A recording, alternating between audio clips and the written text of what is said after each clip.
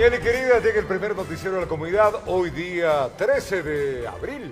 Así es, muy buenos días con todos ustedes, amigos televidentes, 13 de abril, Día del Maestro. De, de- de los maestros. El maestro. De nuestros queridos formadores. Así que les mandamos un abrazo grande realmente por esa labor importante que tienen justamente en la, en la educación. ¿ah? Y este año ha sido para los maestros realmente cuesta arriba, adaptarse, la teleeducación, en fin, a ellos mandarles un abrazo grande y enorme y que no decaigan para adelante. Con más fuerza, con más fuerza, Sí, claro. haciendo eh, eh, vocación, a su honor a su Sí, vocación. claro, y, y fuera de eso seguir formando para encontrar una mejor sociedad. Recuerden, maestros, sobre todo de los niños, en ustedes está dar principios y valores. Y que se reconozca también el trabajo que, se, que ellos hacen. Pero claro, que se reconozca claro. ese trabajo, no solamente en felicitaciones, sino también en recursos para ellos. Recursos, dinero, bien pagados, en fin, todo lo que ya hemos hablado extensamente y que pues las cosas vayan mejorando en una educación ecuatoriana que merece mejores días. Muy bien, así que el abrazo está ahí. Por favor, pon los aplausos. Un aplauso. Aunque sea. Aunque sea un aplauso, pues un, un algo. ¿no? Pues, ahí está. Los aplausos, por favor. Vecinos queridos, ¿cómo estamos? Luego de ya pasar todo el fin de semana electoral, ayer de- también, ya. Ahora, centrarnos en lo que pasa en Eso. la capital, en lo que Eso. pasa ahí en los barrios, las necesidades que usted tiene y que nos comparte a nosotros para, con las autoridades, tratar de buscar una solución. Sin duda, encontrar caminos, ir viendo qué se va a hacer, cómo vamos a arreglar los temas que son los que están en la palestra, ¿no? Que Claro. son los que el día a día comentamos los que vivimos en esta sagrada ciudad de Quito. Bueno, eso es lo importante, que cada uno también de su espacio trate de sacar adelante a la, a la ciudad. Eso, eso es importante, 098-518-4393. Esa es la línea a través de la red social WhatsApp en la cual usted envía fotografías.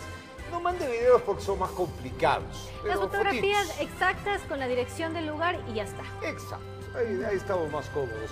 Así que espero que esté desayunando, coma lo necesario a esta época de pandemia que está alta, ejercicio y buena comida.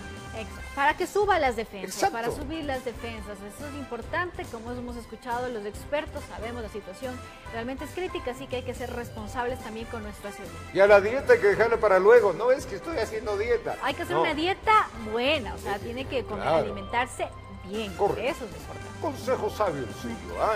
Bueno, Bueno, vamos a empezar con la información. Y es que en Quito, desde este lunes 12 de abril, la compañía de transporte público Guadalajara cobra 35 centavos por pasaje. Esto tras cumplir con los parámetros de calidad técnicos y documentales exigidos por el municipio de Quito. Sorprendidos se mostraron los usuarios de la compañía de transporte público Guadalajara cuando madrugaron este lunes 12 de abril a tomar este autobús. Y es que ya no pagaron 25 centavos por su pasaje, sino 35 centavos. sorpresa para nosotros porque a veces se sale justo con el pasaje. Ahorita acaba de decir, toca pagar, ya no hay más que hacer ya. Eh, está muy bien, ya era tiempo que incremente y mejoren el servicio también. Unos de acuerdo y otros no. Lo que sí es un hecho es que esta compañía ya está autorizada en Quito para incrementar los 10 centavos a la tarifa. Por el momento es la única, debido a que cumplió con todos los 28 parámetros de calidad exigidos por el municipio de Quito a través de la ordenanza aprobada en noviembre del 2020, en la cual, entre otras cosas, busca integrar el transporte público en función del metro. Tenemos 65 operadoras, son 3.082 buses, hoy 60 buses con una operadora que es Guadalajara han cumplido al 100% los parámetros y por ende actualizan su tarifa. Los parámetros van desde un buen trato al usuario, limpieza de las unidades, hasta mayor tecnología. Para ello cuentan con un dispositivo que permite a la Secretaría de Movilidad del Cabildo controlar a las unidades. Estamos midiendo excesos de velocidad, apertura y cierre de puertas en lugares indebidos, eh, maniobras bruscas, frenadas bruscas, colisiones, sabemos quién es el conductor, sabemos cuál es la, cuál es la capacitación, sabemos el aforo y en base a eso, pues el software califica Califica un buen servicio, pero también sanciona en caso de que este no se haya dado. y se sanciona en base a lo que la propia ley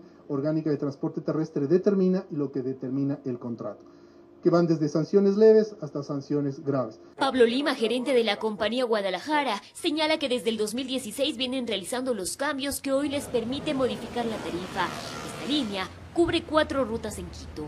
La ruta Pueblo Blanco, el eh, Congreso, la ruta Dinapén, Oyacoto, la ruta Pomaski-Carapungo y la ruta Luz y Vida Carapungo. En este marco, el presidente de la Unión de Operadoras de Transporte Urbano de Quito, Jorge Llanes, indica que por este camino va la mayoría de compañías. Señala que se han retrasado por la implementación de tecnología.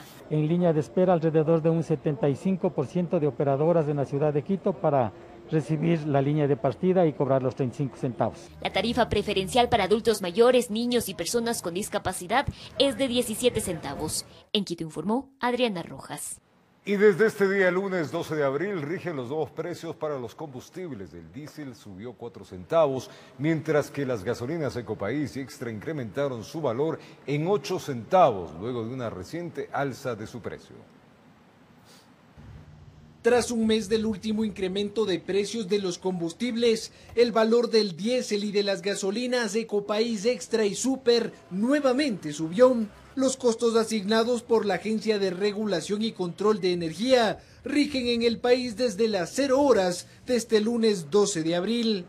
Con esta modificación, la gasolina Ecopaís y Extra subió al menos 4 centavos, es decir, pasó de 1,83 a 1,91 por galón mientras que el diésel pasó de 1,40 a 1,44, en tanto que la gasolina super, cuyo precio está liberalizado, alcanzó un récord de 3 dólares con 17 centavos en varias gasolineras del país. La Cámara de Distribuidores de Derivados del Petróleo señaló que el incremento del valor de los combustibles se debe a que hubo un repunte importante del precio del crudo a nivel mundial. Ante este nuevo incremento, la ciudadanía mostró su preocupación, pues temen que el precio de la gasolina siga escalando mientras sus ingresos continúan decayendo a causa de la pandemia del COVID-19. Muy alto el precio, la verdad, muy alto. Eh, de mi parte, el país está mal económicamente y que hagan ese aumento no me parece justo, la verdad. Sí, se nos afecta un poco a, a la situación económica, pero ¿Qué se puede hacer por la necesidad que uno tiene que trabajar? Tiene que, comprar el combustible. El 11 de cada mes, la Agencia de Regulación y Control de Energía anuncia los nuevos valores que regirán en el mes siguiente y buena parte de la ciudadanía espera que la escalada de precios se detenga. En Quito informó Álvaro Terán. Y en sesión permanente de este lunes, el COE Nacional resolvió disponer al Ministerio de Salud Pública elabore un informe sobre la situación de la pandemia en el país. Así también el Ministerio de Gobierno sobre los eventos de mayor relevancia que hayan alterado el orden público y aglomeraciones. Número de municipios que hayan permitido la apertura de bares, discotecas y centros de tolerancia. Mientras que el registro civil deberá proporcionar información que evidencie datos y registros de defunciones a causa del COVID-19 con corte al 13 de abril mientras que el registro civil deberá proporcionar información que evidencie datos y registros de defunciones a causa del COVID-19 con corte al 13 de abril. Vamos a otras noticias. Una fuga de agua que persiste varias semanas en el barrio Mato Bella, en el centro de nuestro distrito metropolitano de Quito, fue reparada. Qué bueno, realmente. Les tenía con un dolor de cabeza los vecinos y fuera eso creaba congestión vehicular y accidentes que por fin dejaron de ocurrir. Aplausos. Sí, señor. De varias semanas se desperdició el agua de una tubería de la calle Matovelle que alcanzó varias cuadras. La comunidad comenzaba a resignarse y vivir con el problema, pues eran muchas sus solicitudes sin respuesta. Y a cuatro veces han destapado esa parte de ahí. Ahora sí se ha hundido, la otra vez también se hundió, pero no se iba el agua. En cambio ahora ya está ocho días que se va el agua. Testimonios comunitarios comentaron que esta no era la primera vez que ocurría un problema similar. Estaban molestos por los inconvenientes que les causaba. Ya le componen varias veces, esto le han abierto y todo, pero... Sino que se descuidan y no hacen caso, por más que se les llame. Los carros pueden resbalar y pueden causar accidentes aquí mismo. La calzada cada día se dañaba más, por lo que decidieron acudir al primer noticiero de la comunidad y así buscar una solución, la cual llegó pocas horas después de presentado el dolor de cabeza de los vecinos. De inmediato le arreglaron. Sí, sí, ya hay presión de agua en las casas. En eso de ahí se demoraron tres meses en componer. Y después hubo otra fuita y después, últimamente, menos mal que ya vinieron. Ahora la vía luce así. No solo fue reparada la fuga de agua, la calzada fue repuesta. El panorama de una de las entradas al casco colonial mejoró notablemente. Informó Sofía Vintimilla. Y la Policía Nacional respondió a la denuncia de inseguridad que los moradores del sector del recreo al sur de Quito presentaron a través de este noticiero. Las autoridades aseguran que trabajan para combatir la delincuencia. Aquí nos encontramos con los vecinos, quienes... Fue el pasado martes 6 de abril que acudimos al llamado desesperado de los moradores del sector El Recreo al sur de la ciudad.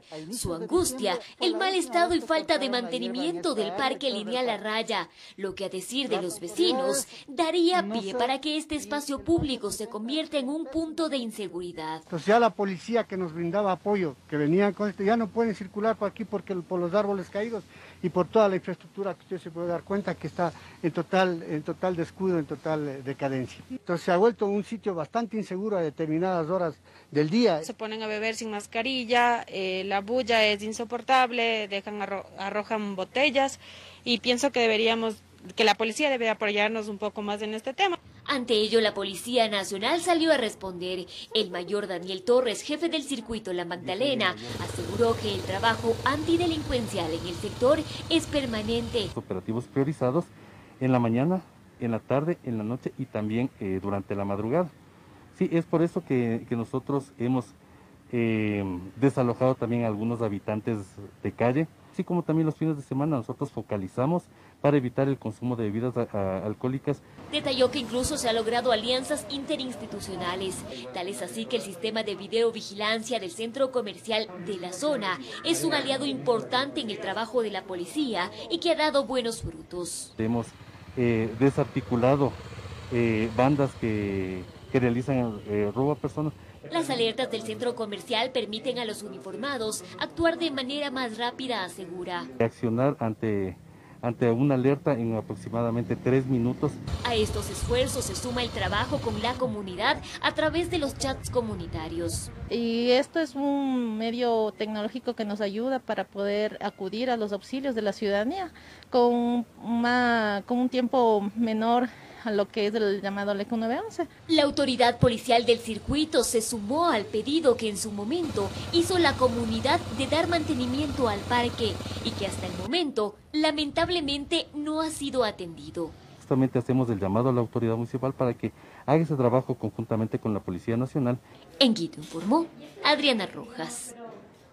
Docentes, personas con enfermedades catastróficas y graves, personas con discapacidad, odontólogos y varios funcionarios de sectores estratégicos serán vacunados contra el COVID-19. El proceso, según el ministro de Salud, arrancará el próximo 19 de abril.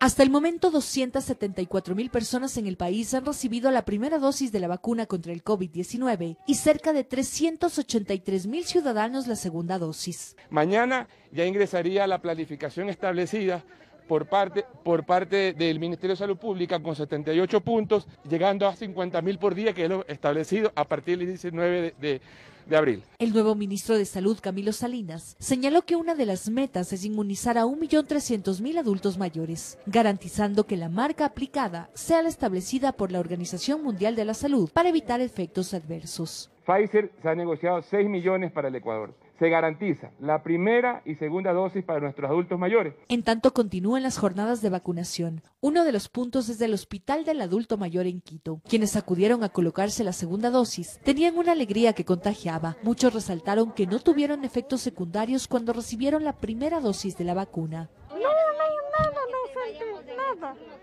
Tranquilo. Pero sí me ayudaron porque ella es inquieta, tiene Alzheimer, entonces no puede estar quieta. Si ahorita mismo me está haciendo ya sudar pepas. El próximo grupo que se considerará para la inmunización serán docentes, personas con enfermedades catastróficas y personal de salud como odontólogos. El proceso podría arrancar este 19 de abril. Y necesitamos no solamente a los odontólogos, a todos los profesionales, tanto público y privado, porque este es un, un grupo de primera línea que puede ser un backup para el futuro, en la parte privada, si tenemos alguna emergencia. Información proporcionada por el Ministerio de Salud establece que las negociaciones para la adquisición de las vacunas contra el COVID-19 lograrían que lleguen al país hasta diciembre de este año 20 millones de dosis, las cuales serán pagadas a través de líneas de crédito conforme arriben al país, garantizando así que el próximo gobierno pueda continuar con el proceso de inmunización, informó Sofía Vintimilla. Las personas de la tercera edad que forman parte del programa 60 y Piquito del municipio de Quito reciben la segunda dosis de la vacuna contra el COVID-19. Vamos a conocer detalles de esto. Adriana Rojas se encuentra ya en el Centro Integral del Adulto Mayor en Tumbaco. Adriana, buenos días. Adelante, por favor. Robert, amigos televidentes, muy buenos días. Así es, nos encontramos acá en Tumbaco, donde cerca de 500 adultos mayores recibirán hoy la segunda dosis de la farmacéutica Pfizer de esta vacuna contra el COVID-19. Como podemos ver, ya existe gran cantidad de personas, de adultos mayores que han empezado a llegar hasta este punto. Contarles que hace poquísimos minutos también llegó un vehículo del Ministerio de Salud Pública custodiada por la Policía Nacional en donde se encontraban las 500 dosis. También decirles que en este momento se está haciendo el proceso de recepción de las vacunas y también del conteo de las mismas. Vamos a conversar con algunas de las personas que han llegado hasta este punto para poder acompañar a sus familiares a recibir la vacuna. Señora, buenos días. ¿Usted con qué familiar ha llegado para tener la segunda dosis? Buenos días. Buenos días, con mi mamá. Tenía el turno a las ocho y media y llegamos media hora antes como nos habían indicado. ¿Cómo ha visto la organización? Ahorita pésimo porque parece que les, les fue un inconveniente tenerles las sillas porque la primera vez iban llegando y se iban poniendo a la cola y ahora van llegando y ocupan los espacios vacíos y, y no, no está bien. ¿Este mismo problema se registró cuando recibió la primera dosis? No, la primera vez fueron llegando y se iban poniendo a la cola. Y ahora, en cambio, pusieron las sillas y llegan y ocupan las sillas vacías. Espera que pronto reciba la segunda. Sí, ya nos dijeron ahorita que ya estaban organizando mejor. Muchísimas gracias, así es. Aquí por el momento se está intentando tratar de organizar a las personas porque hay personas que madrugaron y otras que recién llegaron, entonces hubo una mezcla de los adultos mayores. Vamos a continuar de aquí. Cuando ellos llegan aquí se organiza, se recibe un turno y posterior pasan a la verificación de datos donde ellos validan el turno que se les dio también con la cédula y tienen que llenar precisamente un formulario. Posterior a ello, se les realiza precisamente la valoración de los signos, como ha sido eh, durante todos los procesos de vacunación. También se encuentra con nosotros el, doctor Esteban Aguirre, él es el coordinador de esta zona. Esteban, gracias por acompañarnos. Ahora se registra un pequeño problema en la organización. ¿Cómo se está solventando? Buenos días. Eh, buenos días. Eh, bueno, realmente siempre en todo proceso de, de un proceso que involucra a muchas personas, siempre va a haber pequeños inconvenientes un poco malestar de la gente, pero poco a poco todos estamos buscando el orden preciso para que, para que estos problemas no se den. Generalmente a veces, por, por dar mejor, más comodidades a la gente, pasa esto. Cuando ponemos más sillas, todo eso, de repente alguien se sentó donde no debía sentarse. Pero bueno, son temas que los seguimos trabajando y lo estamos solucionando paso a paso. Ya llegaron las vacunas. ¿A qué hora se va a empezar a vacunar? Claro. Bueno, el proceso de vacunas primero tienen como que descongelarse y después tienen que reconstituirlas. En este proceso, ya en este momento ya se están descongelando y yo creería que ya en una hora ya podemos empezar con, con, el tema de la vacunación. Mientras tanto, como ustedes pueden ver, ya está avanzando el proceso, el registro de datos, la toma de signos vitales. Estamos viendo que las personas eh, cumplan en sí eh, los requisitos para la segunda dosis que sus presiones estén controladas. Entonces seguimos avanzando en el proceso. Y son alrededor de 500 adultos mayores que serán vacunados hasta las 8 de la noche. Hay otros dos puntos. Eh, ¿Cuántas personas en estos? Claro, eh, tenemos otros dos puntos. Está en Los Chillos y está en, en Quitumbe. En Los Chillos van a ser igual aproximadamente otras 500 personas y en Quitumbe van a ser 1000. ¿Cuántos stands de vacunación aquí? Estamos trabajando con cuatro brigadas, tanto en cuatro en las tomas de signos vitales y cuatro en el tema de vacunación. Recordar que deben llegar solo 30 minutos antes para evitar las aglomeraciones y también tomar las medicinas en el caso de que eh, estén tomando. Exacto, por favor. Generalmente la mayor cantidad de inconvenientes que se da es porque las personas mismas vienen antes de la hora, entonces lo que pasa es que se acumulan afuera. Entonces ellos se acumulan y después ellos mismos están molestos por eso. Entonces nosotros recomendamos que por favor 30 minutos antes de la cita que nosotros les estamos dando y que vengan tomando toda su medicación porque no, no es necesario que la, la suspendan y también que vengan desayunando.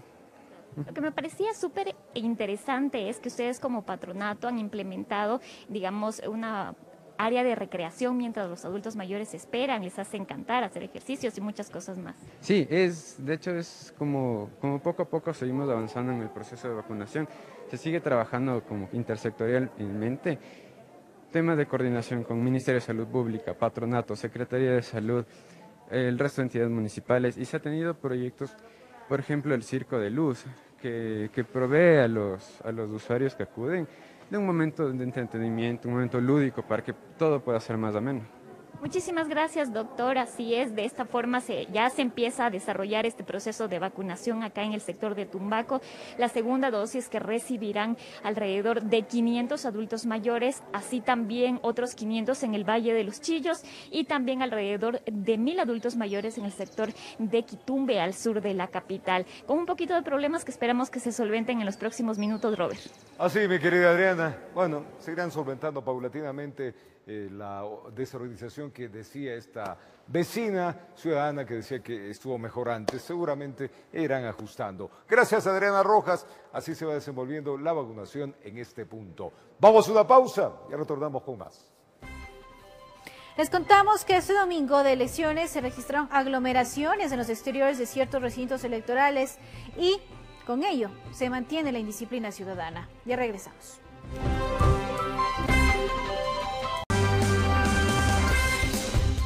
8.26 en la mañana, gracias vecinos queridos por estar aquí en el primer noticiero de la comunidad. Es tiempo de recibir lo que a ustedes les causa dolor de cabeza. Pónganlo en pantalla.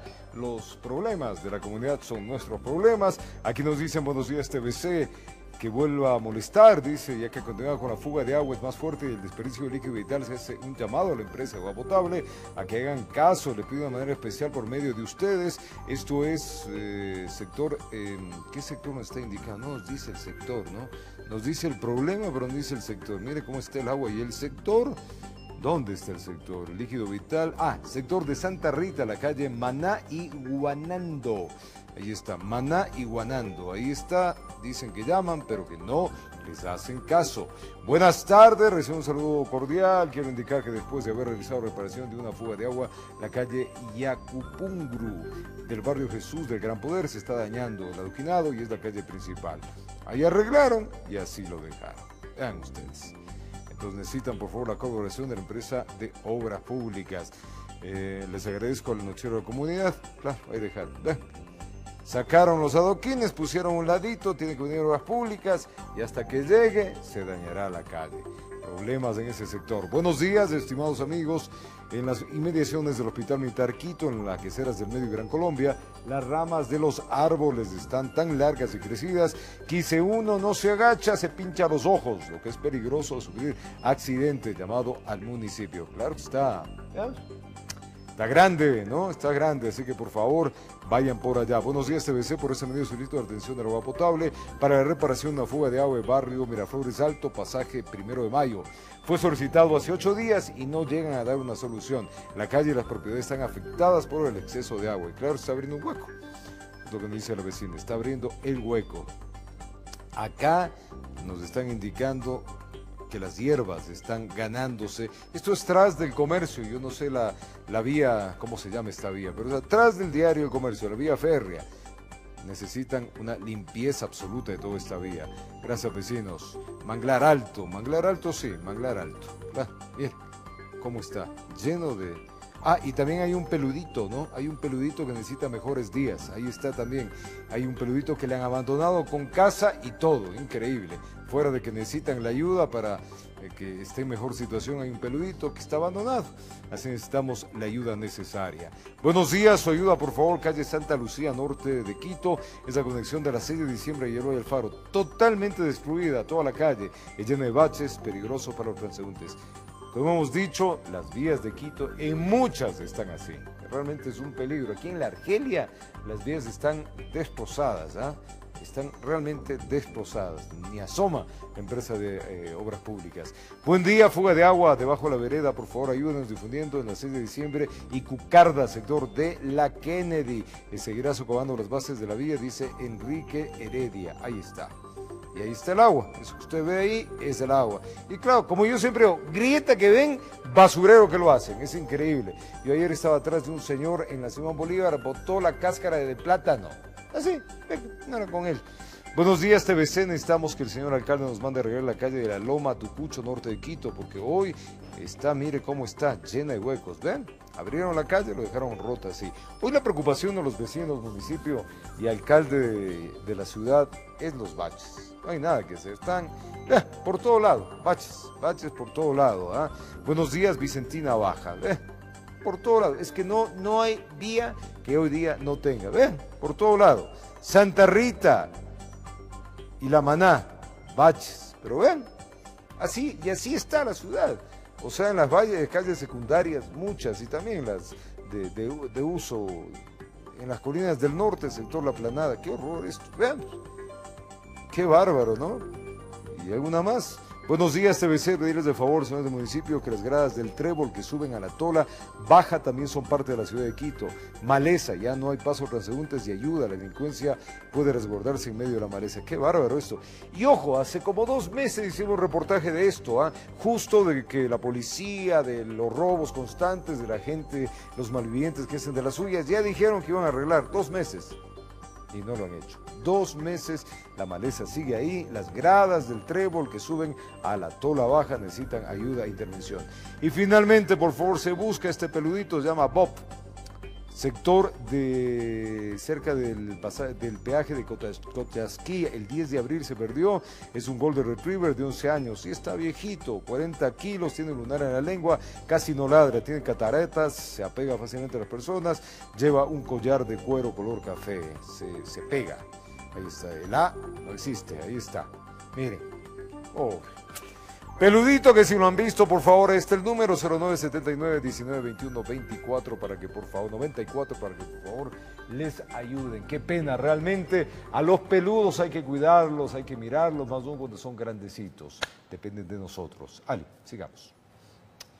Y la empresa pública metropolitana de agua potable y saneamiento respondió a las denuncias publicadas por este noticiero donde la ciudadanía solicitaba se realice la inspección y reparación de una tubería en el sector de Monteserrí, esto en el norte de Quito. En estos días una cuadrilla de trabajo se trasladó a este populoso barrio para dar pronta atención a los requerimientos de los moradores. Y otra buena noticia. Gracias a las denuncias que presentamos siempre aquí en TVC en la comunidad, la empresa pública igual Metropolitana de Agua Potable y Saneamiento realizó la inspección y reparación de una tubería, esto en el sector del recreo al sur de Quito. Esta institución informó que apenas, pero sí apenas escuchó requerimiento de los moradores en este noticiero, movilizó inmediatamente una brigada de trabajadores para brindar la atención necesaria. En buena hora. Qué bueno eso, que nos hacen caso por ahí. Harán caso del resto también. Vamos a otros temas. Ecuador registra más de 347 mil enfermos COVID-19. Este domingo de elecciones se registraron, ya saben, aglomeraciones en los exteriores de ciertos recintos electorales, indisciplina ciudadana, las conseguidas ventas, en fin. Hay que cuidarse, hay que cuidarse. La indisciplina ciudadana se mantiene. Indisciplina ciudadana que se ve todos los días. Lunes. Iniciamos esta semana con tumultos. Ambato. Cámaras del ECU 911 captaron en el interior del mercado mayorista aglomeraciones, quienes realizan las actividades comerciales sin el más mínimo cuidado. Loja. La gente se amontona en las esquinas de un mercado. Las ventas ambulantes son un foco de contagio y al parecer eso no importa. Babahoyo. En un parque infantil hay gente muy cerca con poco distanciamiento.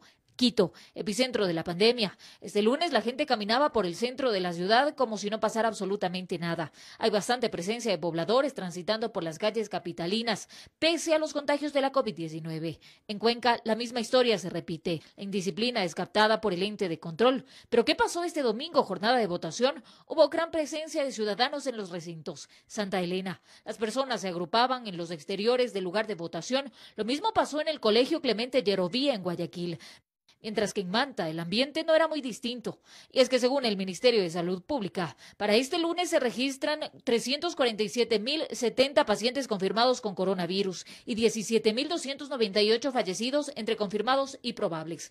Pero si hacemos un recuento, abril empezó con 330.388 pacientes enfermos de COVID-19, es decir, que del primero al 12 de abril existe un total de 16.682 enfermos más. Ahora que producto de estas aglomeraciones, seguro se verán los resultados en los próximos 15 días. Informó Marilyn Jaramillo.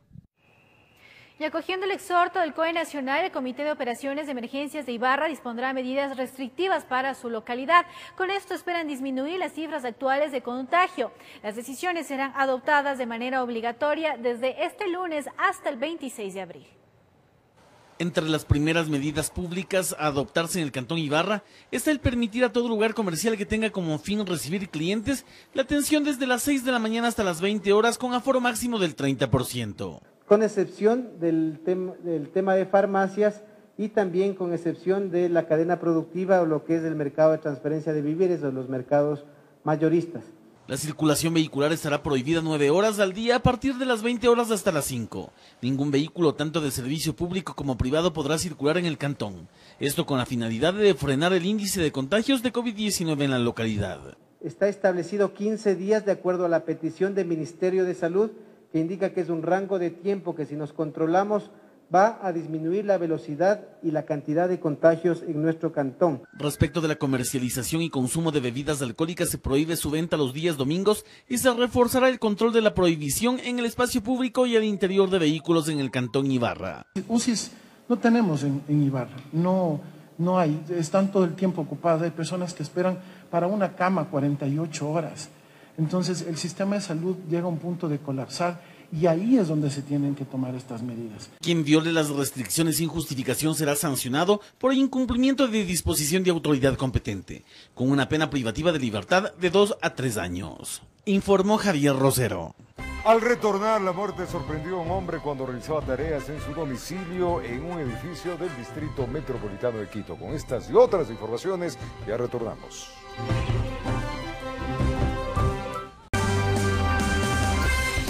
Claro, el 13 de abril se celebra el Día del Maestro Ecuatoriano. En esta fecha se conmemora su entrega y dedicación y la formación de nuevas generaciones del país. En la siguiente nota, queridos vecinos y amigos, vamos a rendir un homenaje a los educadores, quienes trabajando incansablemente sin importar dificultades impuestas por la pandemia. Hay cosas que resultan inolvidables en la vida de las personas. El día en que aprendieron a leer y escribir, por ejemplo, es uno de esos eventos que no se olvidan fácilmente, así como tampoco se olvida a quienes nos lo enseñaron. El 13 de abril se celebra el Día del Maestro Ecuatoriano y en medio de una pandemia que ha resquebrajado los cimientos de la educación, los profesores continúan entregando su vocación y servicio a las nuevas generaciones de esta patria. Uno de los principales retos que hemos tenido que enfrentar los maestros ha sido el adaptarnos a esta nueva normalidad. Esto implica acoplarse a un mundo digital, la capacitación en el uso de nuevas tecnologías y plataformas educativas y el apoyo a estudiantes y a sus familias en actividades que tienen que ver con el aspecto de contención emocional. Las restricciones y el aislamiento han impuesto innumerables obstáculos para los maestros, quienes han tenido que adaptarse a una realidad que no se compadece de ellos. Problemas de conectividad, carencia de infraestructura tecnológica, retrasos en el pago de los salarios son una parte de esta nueva realidad. Sin embargo, ellos siguen convencidos de que su labor es clave para el desarrollo del país.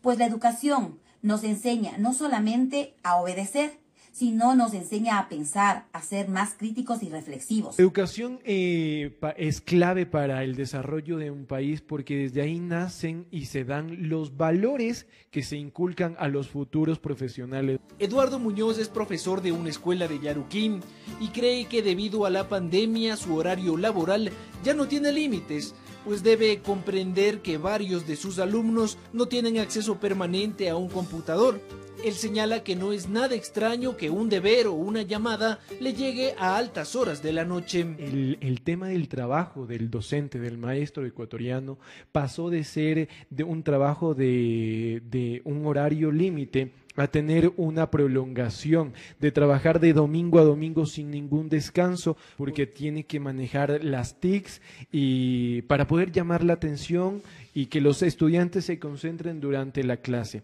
Ante este tipo de dificultades, los docentes solicitan al próximo gobierno destinar los recursos necesarios para mejorar las condiciones de enseñanza y aprendizaje. Invertir en mayores recursos para la educación, específicamente en la capacitación docente, que es la clave para lograr una educación de calidad y calidez. En su día, Ecuador reconoce y agradece su compromiso con la dignidad y la inteligencia. En Quito informó Álvaro Terán. Y delegaciones de observación electoral que participaron en el balotaje resaltan el mecanismo informático aplicado por el Consejo Nacional Electoral para la promulgación de resultados. También felicitan por las medidas de bioseguridad para enfrentar la pandemia del COVID-19 aplaudiendo la gestión desarrollada por el Consejo Nacional Electoral CNE en la segunda vuelta. Las misiones internacionales de observación alistan maletas para dejar el país. Pero antes cada una entrega un informe preliminar. Centran su atención en el mecanismo aplicado para la promulgación de resultados en poco tiempo. Y que tan temprano se ingresaran las actas y tan temprano supiera el resultado. Me llamó la atención de estar en muchos procesos electorales, no recuerdo uno que efectivamente a las 10 de la noche se supiera, digamos, ya la gran mayoría de los de lo ingresado. El no hacer conteo rápido, el divulgar los resultados, inmediatamente iban llegando, fue el punto más importante en criterio de nuestra misión de este proceso electoral. Andrés Pastrana, expresidente de Colombia en representación de IDEA, conformado por ex jefes de Estado y de Gobierno de la Iniciativa Democrática de España y las Américas, dio a entender que aquí no había cabida para un fraude electoral, como se pretendía hacer creer a la población, de acuerdo a una publicación del diario Página 12 de Argentina. Y creo que ha quedado muy claro en nuestro informe, Héctor, el reconocimiento al Consejo Nacional Electoral, a su presidenta, a sus señores magistrados, de un proceso claro, limpio, transparente, que hoy creo yo se convierte en un ejemplo para el continente. Por otro lado, se resaltó las medidas de bioseguridad aplicadas por las autoridades electorales para enfrentar el COVID-19. Que no solo no tenía que mejorarse, sino que se perfeccionó frente a lo que fue un excelente protocolo el 7 de febrero. Valoramos en alto la participación ciudadana, ciudadanas y ciudadanos de más de 65 años que... Uh, pese a sus delicadas condiciones, algunos ah, eh, con ayuda asistida, eh, decidieron ir por un compromiso cívico a eh, ejercer su derecho ciudadano. Diana Tamaín, presidenta del CNE, en nombre de la entidad que preside, extendió el agradecimiento. Podemos demostrar que juntos, superando las diferencias, se pueden llegar a cumplir grandes sueños y objetivos. Más tarde, por separado, la Organización de Estados Americanos, OEA, hizo públicas sus conclusiones, demandando modernización. Particularmente todo el equipo tecnológico del Consejo Nacional Electoral. Creemos que ese es un asunto que es muy relevante que se atienda. Informó Héctor Romero. Y tras el triunfo de Guillermo Lazo como presidente electo, los ecuatorianos tienen expectativas sobre cómo la economía puede mejorar. Esperan que el nuevo mandatario fomente fuentes de empleo y recupere el dinero de actos de corrupción. La victoria de Guillermo Lazo, candidato con ideología de derecha, representa un cambio generacional para el Ecuador. Su ganancia pone fin a los mandatos de izquierda en el territorio nacional tras 14 años de gobierno. En materia de política y corrupción, las expectativas apuntan a que el nuevo mandatario designe a autoridades honestas y se condenen a aquellos que han robado en el pasado. Que se escojan mejor a las personas que están en los cargos de poder. Y respalde a la fiscalía, a los jueces, de esa garantía de libertad para que puedan ellos actuar correctamente, con mano dura. El nuevo presidente ojalá haga devolver todo lo robado. Eso es lo principal. La crisis sanitaria que derivó en la pérdida de millones de empleos es otro de los temas considerados como clave para la ciudadanía. El clamor colectivo se enmarca en la recuperación del sector laboral. que nos apoye con un trabajo de tanto joven que está desempleado y han votado tanta gente en la desocupación que no saben en dónde y cómo trabajar, cómo vivir. Que nos dé trabajo, que nos ayude, pues. Yo tengo a mis hijos que están más de dos años sin trabajo. Creando fuentes de empleo, porque el desempleo ha, crecido, usted se imagina bastante. La educación, en cambio, es una preocupación de los más jóvenes, quienes solicitan al nuevo gobierno la eliminación del examen para el acceso a la educación superior regido por la CENESID. Yo sí creo que es algo muy bueno porque realmente este examen está limitando la, la, educación para muchas personas que dependen de un examen para entrar a la educación pública, puesto que no tienen otro no tienen los ingresos suficientes para entrar a educación privada. Pienso que es algo bueno porque yo como joven, en realidad sí se te hace un problema entrar a la universidad porque teníamos que rendir un examen que la verdad no era, o sea, no medía la aptitud que en el colegio en realidad nos enseña. En torno a la salud, la solicitud es la misma. Los ecuatorianos quieren ser vacunados contra el COVID-19.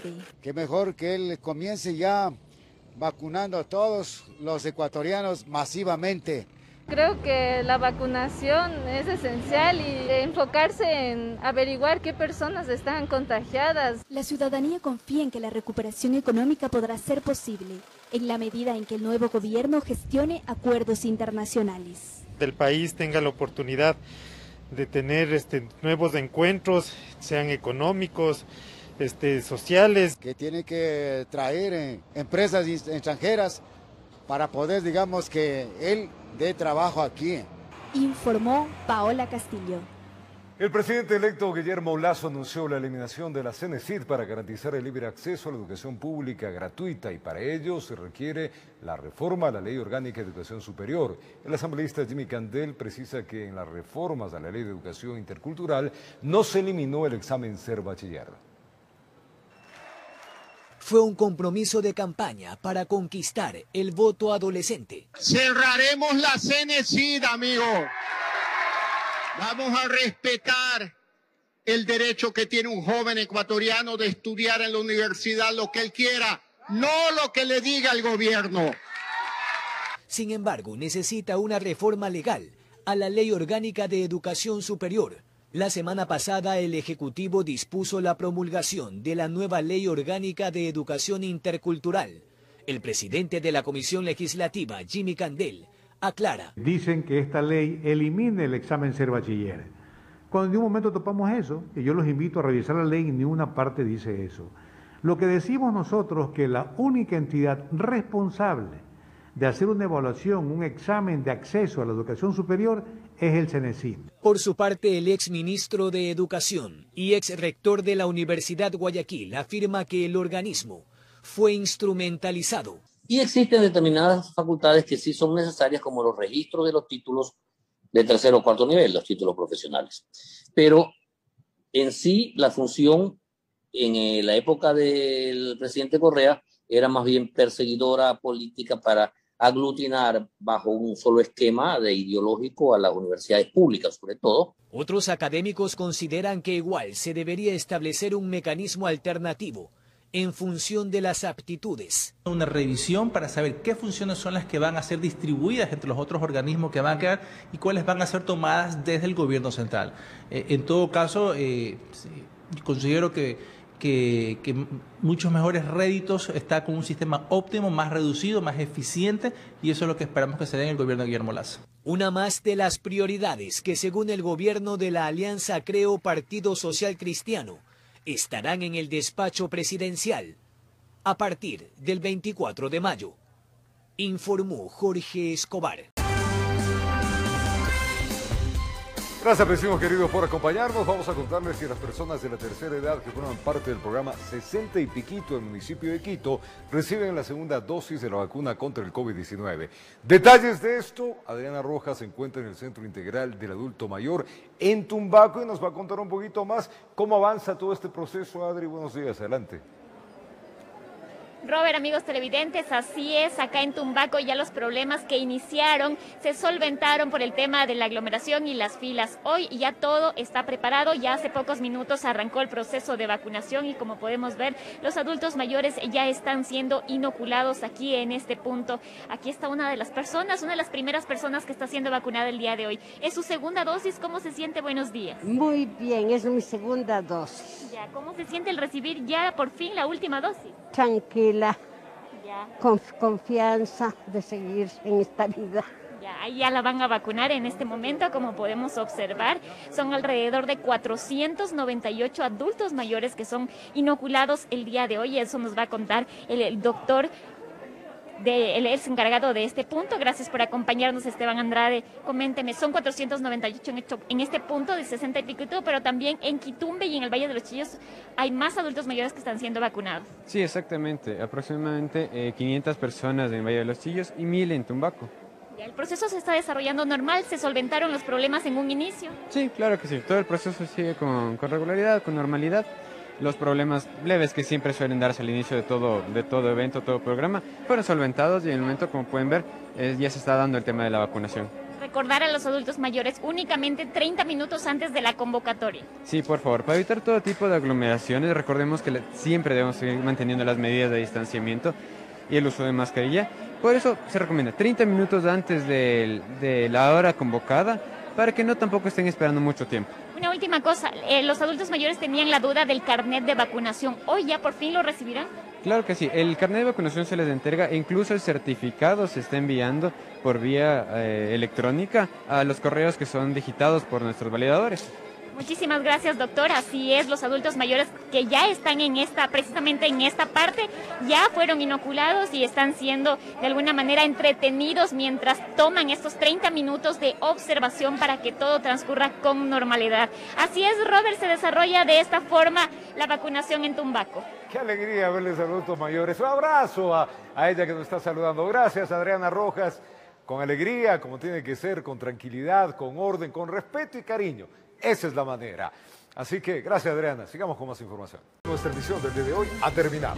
Nos vemos el día de mañana, 5 y 45 de la mañana. Tiene una cita con nosotros desde muy tempranito, así que no se olviden. Bueno, emisión central, 7 de la noche. Que el día sea bendecido. Totalmente bendecido, así es. Días Bueno, de victoria hay que Eso, declarar. pantalla dividida. En martes 13 para la bienvenida a nuestros compañeros. Ahí está en pantalla. Buenos Hola, días. chicos. Muy Gratitud días. al maestro que alumbra nuestra vida y la llena de estrellas. Eso. Queridos compañeros, un abrazo inmenso. Felicidades a los maestros, a aquellos que con tanta devoción eh, enseñan a la juventud y que nos han forjado durante toda nuestra vida. Eh, a todos esos maestros que en realidad han marcado la vida de todos. Yo quiero mandar un abrazo a todos, eh, principalmente a mis maestros de literatura y castellano que fueron muy inspiradores. Pero, eh, el profe Jorge Ramón, el profe Carlos Zurita, eh, el profe Sixto, o sea, en realidad son gente que a uno le marca la vida. ¿Te acordaste? Me faltaron unos cuantos más. Me ¿no? faltaron ¡Qué muchos de verdad, pero a uno le marcan la vida por su inspiración, sin duda. A los de supletorios también les faltó. Sí, nos quedábamos a supletorios, pero marcaban la vida. Es verdad, bueno, sí, es, ¿no? tiene unos recuerdos lindos de los maestros. Yo también les mando a todos mis maestros del Abrazo a colegio la maestros. presentación. Eso. A mis queridos maestros, a todos maestros. Hola chicos, ¿cómo están? Buen día a todos nuestros maestros y a los maestros también. Por supuesto que el día de hoy hay que sacarse el sombrero con ese trabajo que están realizando. Yo veo a mi hija que está tras la computadora y la profesora y sigue y sigue y trata de llamar la atención del uno, del otro, todos dispersos. En realidad un trabajo muy grande que están realizando ahora muchos de los maestros, así que un día maravilloso para ellos. Sin duda, una vocación muy linda que tienen los maestros. me gusta Ajá, eso, porque si vocación, no- porque, hay que tener, ¿no? Es vocación, Hay que hay que tener. Y, y realmente gracias por todo lo que nos han enseñado mis queridos maestros. Un fuerte abrazo y pues eh, sigamos adelante apoyándolos porque están pasando también por momentos muy Irán por las sombritas, martes 13 también. Ah, ah, cierto, no, eso, eso dejemos no de, lado. No, no se embarque, no pasen debajo de las calderas, chicos, ahora salga corriendo. Un beso.